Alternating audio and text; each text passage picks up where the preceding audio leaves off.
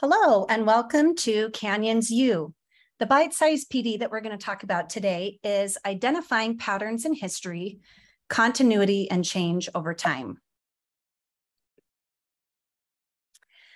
As you know, in Canyons School District, we have professional norms.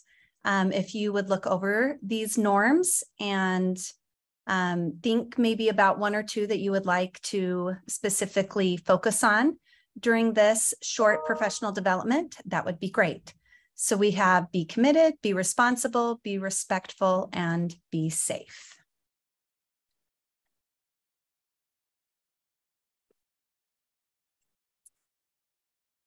All right, since no one has joined yet, I'm not going to worry too much about um, having you mute your microphone or turn on your camera. Um, but in the future, if you join one, that'll be the professional norms for that. And if you have any questions or comments, of course, you can always type them in the chat. In Canyons School District, we have a multi-tiered system of support that we tie everything that we do to. Um, for this PD, we will be focusing on the blue section, particularly on high quality academic instruction. Okay, so our learning intentions and success criteria for today. Our learning intentions are, I can learn how the application of themes, lenses, and current events can show a consistent pattern of continuity and change over time. And I can recognize the value of using Wiser to help students apply themes, lenses, and current events. I will know that I have done my job if by the end of this PD, you can implement themes, lenses, and current events into your curriculum so that your students can identify continuity and change over time. And if you can use Wiser to help support that implementation. All right, so let's start with a quote by Teddy Roosevelt. Excuse me. It says, The more you know about the past, the better prepared you are for the future. So I want you to think about that in relation to um, continuity and change over time. The more you know about the past, the better prepared you are for the future. I had a conversation with um, some teachers, some history teachers, um, about this topic. And one of them said that she always asks, asks her students, you know, why is history important? And one student said, well, because history repeats itself. And she said, yes, can you give me an example? and the student couldn't. And so, if we're really doing a good job as history teachers, then we are showing students how things have changed over time or how things are the same and what those patterns look like. So they're more prepared for the future. All right, so let's dig in. Themes, lenses, and current events. Those are the mechanisms that we will use to showcase continuity and change over time. So, when it comes to themes, I want you to think about what comes to your mind when you see the words conflict, compromise, and progress.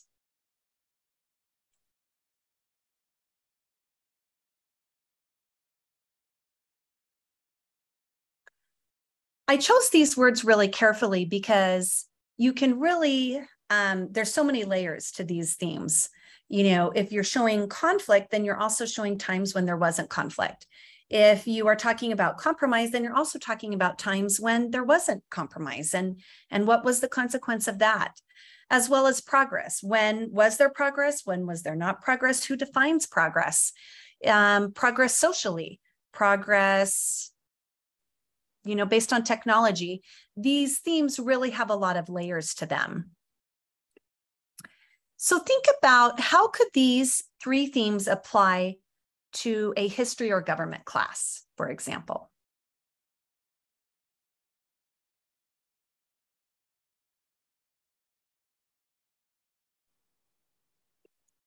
And how could these themes make teaching more engaging for students?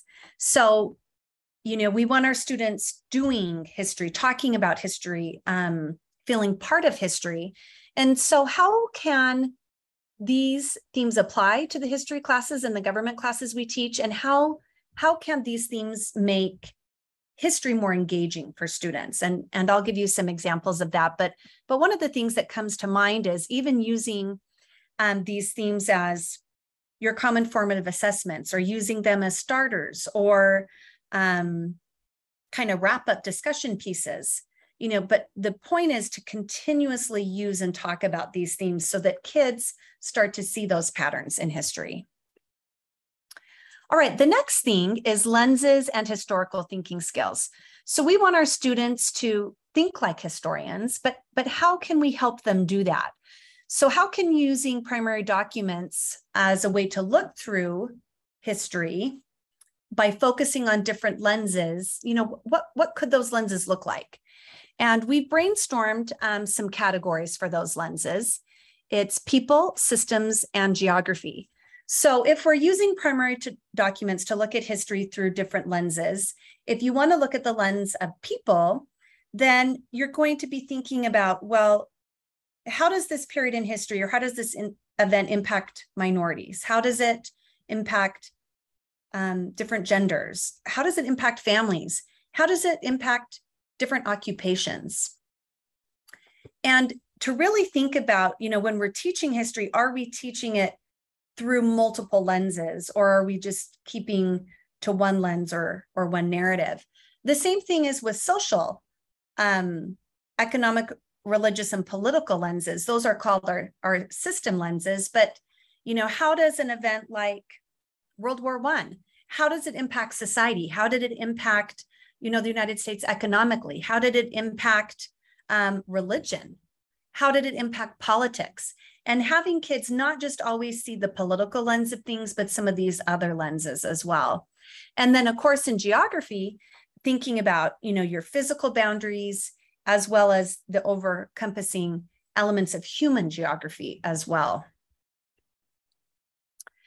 So lenses allows for easy ways to practice historical thinking skills, right? Because um, students have to look at documents, they have to analyze documents, they have to write about documents. And as students learn how to analyze text, you can take it a step further to helping them have those important information literacy skills. So, to help them know how to combat mis and disinformation in today's society. So, starting with historical documents is a great entry point for that. You know, helping a kid really think through, you know, is there bias in this? And helping them understand, you know, primary documents just didn't have, they, you know, they just don't have bias, but we also have bias today. Okay, and the last is current events. So our thought here is take the same lens or lenses that you're focusing on and apply it to current events. And that provides a direct link between current events and curriculum standards. I've had a lot of teachers talk about how they want to teach current events, but they're a little nervous to teach current events in our current um, political climate. And being able to really connect current events to curriculum standards um, is one great way to do that. So let's try it out. Um, I have chosen two different standards here that we can look at. Um, we have US History Standard 5.2, World History Standard 4.4. Just for the sake of today, let's do US History Standard 5.2. So that says students will use evidence to investigate the effectiveness of the New Deal as a response to economic crises. So let's go through and think about okay, here's the standard. How can this connect to themes, lenses, and current events? So which theme could you use to teach this standard?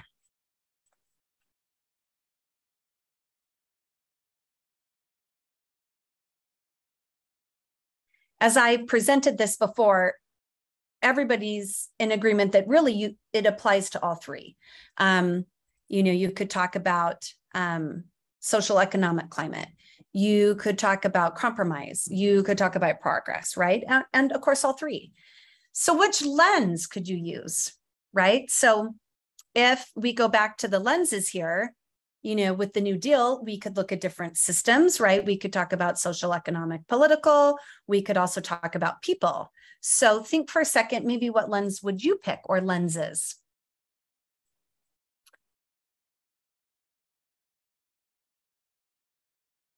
And then how could you tie it to current events? So that connection to current events will be similar to the lens that you have chosen. And I'll model that in just a second.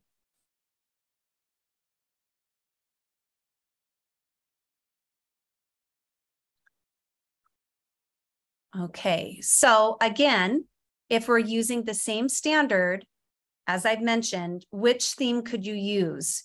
Um, these themes are going to allow for inquiry and discussion, and inquiry is so important in history classes to get students thinking and asking these complex questions. Again, we've talked about what lens could we, we use. Um, I'm going to pick the lens of, of women, right? We know that we have several options to choose from, but when we look at this standard, you know, if we are looking at evidence to investigate the effectiveness of the New Deal, well, how effective was it for women, right?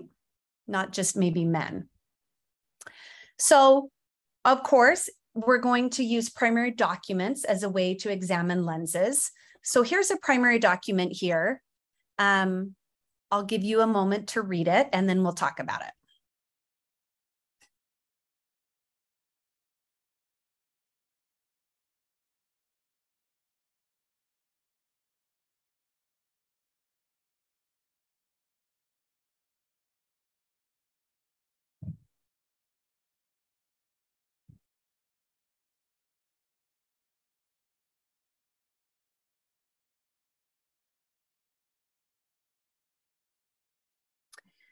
So just by talking about this primary document and having students, you know, analyze it and examine it, you know, there's this question at, at the very end.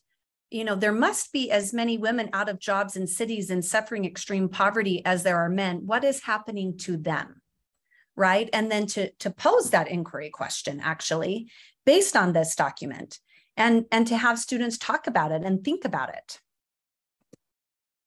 So then connecting it to current events today. So since I was looking at um, a government program that was introduced that impacted women, so we're going to look at another um, maybe government impact of a program or initiative and, and see how it's impacting women. So we want to make sure that it's the same. So we could just say, what impact does the common economy have on women today? And here's here's an article um, nearly 2.4 billion women globally don't have the same economic rights as men. And so then you're making a connection from the lens that you used women to the same type of thing today. All right. So, how can themes, lenses, and current events then show these patterns of continuity and change over time? So think about that for a second.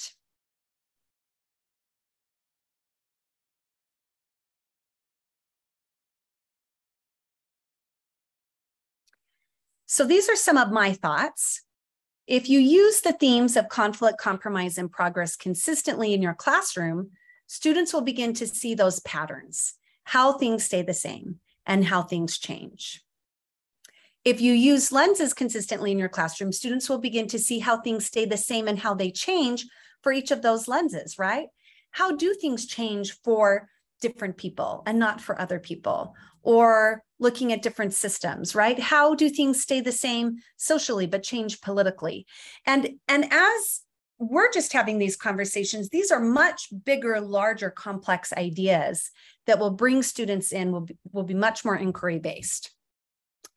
Um, and if you can connect lenses to current events, students see how things are today, right? So going back to women in the New Deal, you know, how did the New Deal impact women economically? Talking about the impact of women economically today, again, students are going to see patterns that are staying the same or that are changing.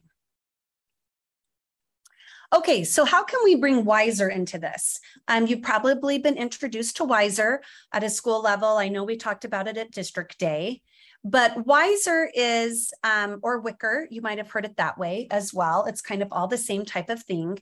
But how can we use Wiser to help support us um, in this pattern of change or continuity? So um, WISER includes writing, inquiry, speaking and listening, and reading and viewing. So let's just review each of them really quickly. So go ahead and read the writing.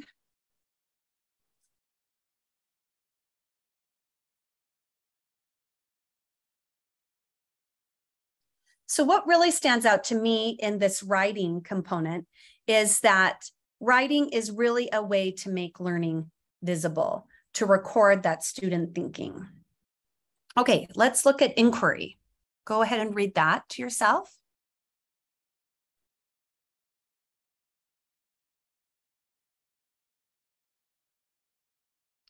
So I really love inquiry. I think inquiry really ties to social studies and history. So in this, inquiry is really directing the students to ask those questions, right?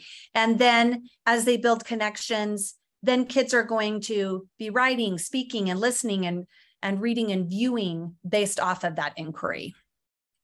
And I think the themes will really work well with that. Okay, read to yourself, speaking and listening.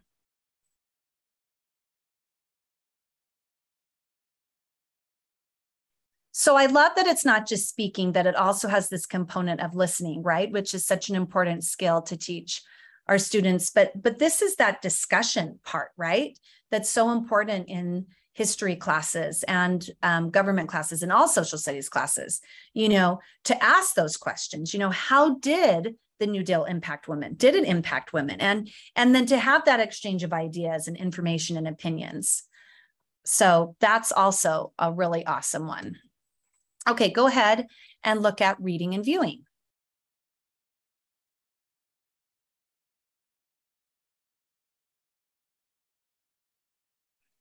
So as we talk about um, lenses and the need to use primary sources to really look at the different lenses of history, this, this is perfect right here. So this talks about how students really need to read or view to gain meaning and understanding and knowledge to contextualize learning, right? So as you contextualize this learning, then you're able to view history through different lenses. You're able to ask those inquiry questions that relate to themes. So in the instructional manuals, we have a scaffolding section that is linked. Um, they've done a fantastic job of linking and providing examples of different the different elements of WISER within these different scaffolds. And so if you're thinking, well, how could I do that? This would be a great way to start. Just go into um, your curriculum guides and click under the scaffolding section and you'll have a whole bunch of examples that come up and they are labeled, of course, according to um, the WISER acronym over here with the student moves. We've also been able to um, provide a really great supportive document to help support our multilingual learners, um, also regarding WISER. And so that's a great resource to check out as well. So how can you use WISER to help students recognize continuity and change over time? So I'm going to go back to this so that you can look at that. You know, how can you use themes, lenses, and current events to show continuity and change over time through inquiry, through writing, through speaking and listening, through reading and viewing. And this gets students doing history, doing civics, not just sitting and, and getting the information told to them, but actually being part of it. And so you know a good place to start is just one one place. Maybe you're just going to start with inquiry. Maybe you want to incorporate more writing as you explore um, this idea of showcasing continuity and change over time in your classroom so at this point i would ask if there's any questions but there aren't because nobody joined live but if you are watching this on your own um, at another time Please feel free to email me any questions that you have. I forgot to introduce myself at the beginning, but I am Jody Ide, and I am the high school social studies specialist. And I would be happy to help you in any way that I can as you're trying to navigate um, how to use themes, lenses, current events, and wiser to show um, continuity and change over time. So what next steps should you take?